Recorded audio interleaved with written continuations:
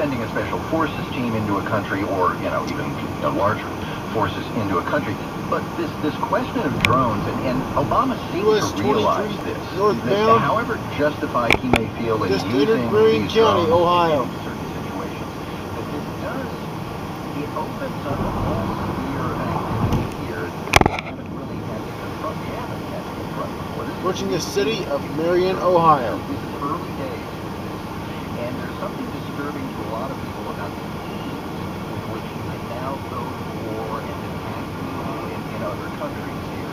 You know, you don't, listen, if, I'm, a, if I'm a parent and, and somebody in the government comes to me and says, I need your, your son and your daughter to go over to Yemen and, you know, hike into the mountains and try and kill somebody, I'm going to need some real justification for that. If it, you know, we need your son or your daughter to go to Utah and sit in a double wide trailer somewhere and play a video game and kill people, then suddenly it becomes very easy.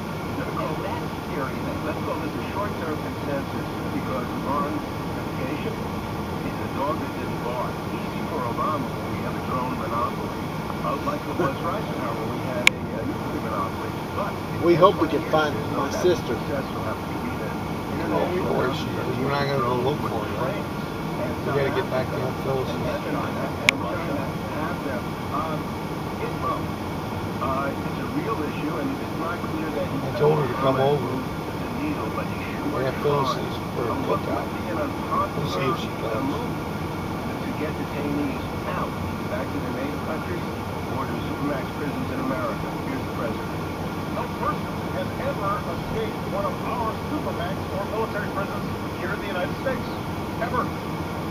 During a time of budget cuts, we spend $150 million each year to imprison 166 people. Almost a million per prisoner.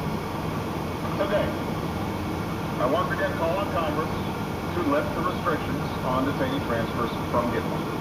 I am lifting the moratorium on detainee transfers to Yemen so we can review them on a case-by-case basis. And I know politics are hard. Future, 10 years from now, or 20 years from now, when the United States of America is still holding people who have been charged with no crime on a piece of land that is not part of our country. Look at the current situation, where we are force-feeding detainees who are hold, being held on hunger strike. Is this who we are? Ron, is it gutsy and right on the merits for Obama to try to, you know, convince the Hill to join with shutting uh, Guantanamo? Of course, he's right. Guantanamo has been an offense to American uh, values since it opened there.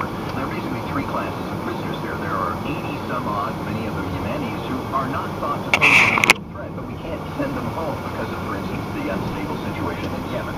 But we are now set. He is set. He, he is going to try and send those people home. He can do that unilaterally. Yes, he can. He doesn't need to wait for Congress, so that should be done as quickly as possible. Then you've got another group of people who are, you know, maybe bad guys.